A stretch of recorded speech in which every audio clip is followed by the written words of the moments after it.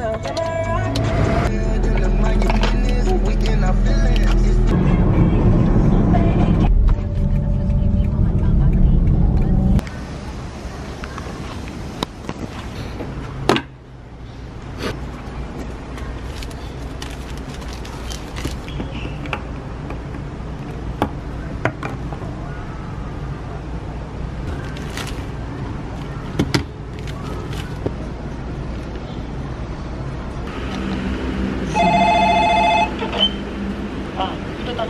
Atas sana?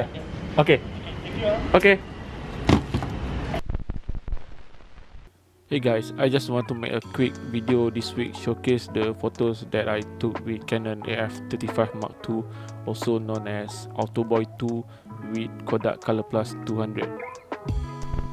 This Autoboy 2 has a 38mm f2.8 16 lens which is quite bright for this type of camera and it's sharp.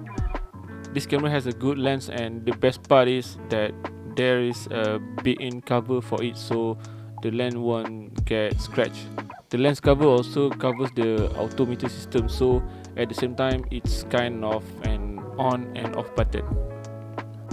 Almost everything is automated. Light meter take care of your exposure, autofocus, the motor drive advance your film for you and rewinds after finish. It takes picture quite fast and shutter speed from 18 to 100 get the job done in different condition.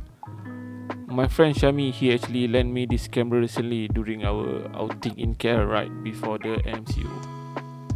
So this video is more just talking about my first impression of this Canon AF35 M2 with the Kodak Color Plus 200.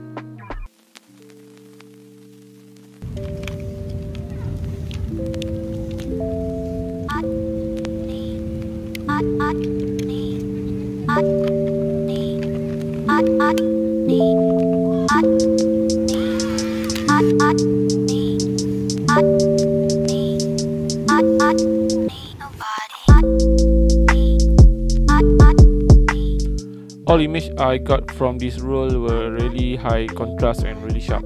I do like the sharpness and it's really captured the green and yellowish and also the grain are superb.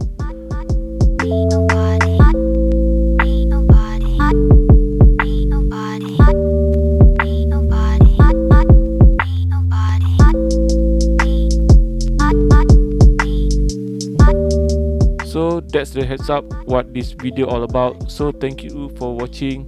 Hope you guys enjoy the show. And again, if you want to subscribe, please do.